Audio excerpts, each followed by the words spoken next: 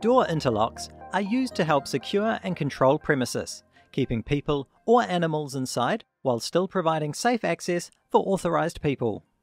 They ensure that only a single interconnected door can be opened at any one time, preventing a direct path between hazardous and safe sides.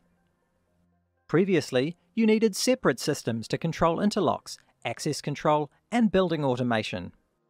ICT's unified platform means only one system to program and manage. Reporting and configuration changes are made easy. Here's our clean room. By integrating door interlock features with building automation, you can trigger the necessary decontamination protocol before releasing the interlock. Your access control system makes sure the pressure and temperature levels are correct, automatically triggers an air shower, and checks the environment is suitable before unlocking a door or pass-through cabinet.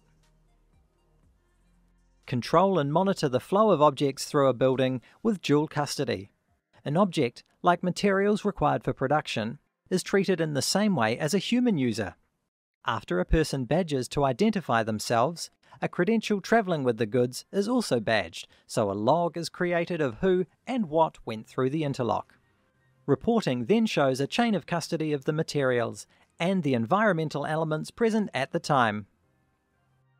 Compliance types ensure the person trying to enter a restricted area has the appropriate current training and certification.